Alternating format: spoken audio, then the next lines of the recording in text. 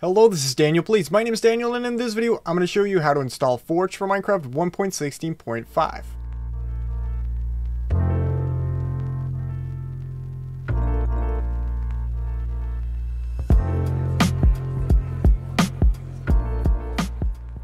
That's right, in this video we're going to be installing Forge for Minecraft 1.16.5. It shouldn't be too hard, it's very similar to previous versions, but I just wanted to put a tutorial out there for the updated 1.16.5 version, because especially initially, it's a little bit more difficult. So before we get started, if you're into Minecraft videos like these, or just Minecraft gameplay, or videos about shaders, mods, whatever, be sure to hit that big red subscribe button and hit the bell notification right next to it. I would really appreciate that. And also feel free to check out my Instagram page, a link will be down in the description. So to get started, there's one thing you need to do do first before we can actually get started installing Forge, you need to launch Minecraft 1.16.5 just once. So go over to your Minecraft launcher, make sure you come down here where it says latest release or if you have any other profile selected make sure to set it to 1.16.5 the latest release then just go ahead and click play and wait for the game to load. So there we go we've made it into the main menu. Just click quit game now and now we can actually get started installing Forge for Minecraft 1.16.5 so to get started open up your browser. You can either use the links I put down in the description or do a quick Google search for Minecraft Forge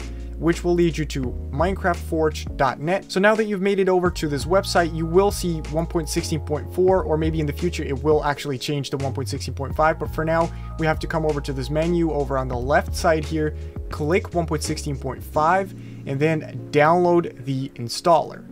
This will redirect us to an ad page where we just have to wait 5 seconds, don't click anything, wait for a skip button to appear right here and just click that. So once the file has finished downloading, you will actually see a warning that will let you either keep or discard the file. Just click keep now I just press Ctrl J to come over to my downloads right here and as you can see it should have this little Java icon right here. If it doesn't there's a few things you need to do. That's either download Java and then run a program called Jarfix. If you already have Java you can use just Jarfix but if you don't have Java at all what you're going to want to do is use the link down below in the description to download Java. Use the link down below in the description to download and install Java. You should end up on a page like this where you click this big red button here, download Java, and then install it. And then after that, you should use the Jarfix program if it still hasn't been fixed, which is a simple program that should fix the file extension for .jar files.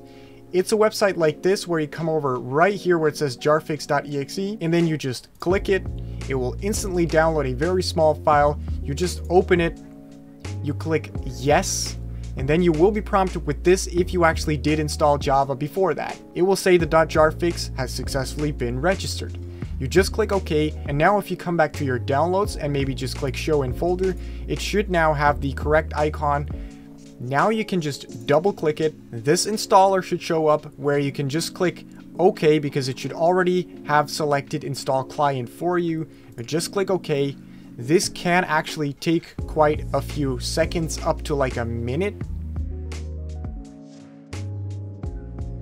And then once it's done, it's going to let you know by telling you that the installation is complete and it will say successfully installed client profile Forge for 1.16.5 blah blah blah. Just click OK you can close this window right here. Now what you're gonna wanna do is come over to the search bar right here. If you're on Windows, type in percent app data percent and hit enter. You will now see a few hidden folders. Come over to .minecraft right here. And now what you're gonna wanna do if you actually download mods for Forge is right click in here, create a new folder called mods, all lowercase, hit enter. Just create a folder called mods drag in all of your mods right in here. And then the next time you actually launch Minecraft, which I'm going to show you in just a second, you will actually see those mods in game. So now you can minimize everything, launch Minecraft, and under profiles, it should now say Forge 1.16.5. If you can't find it, go over to installations right here.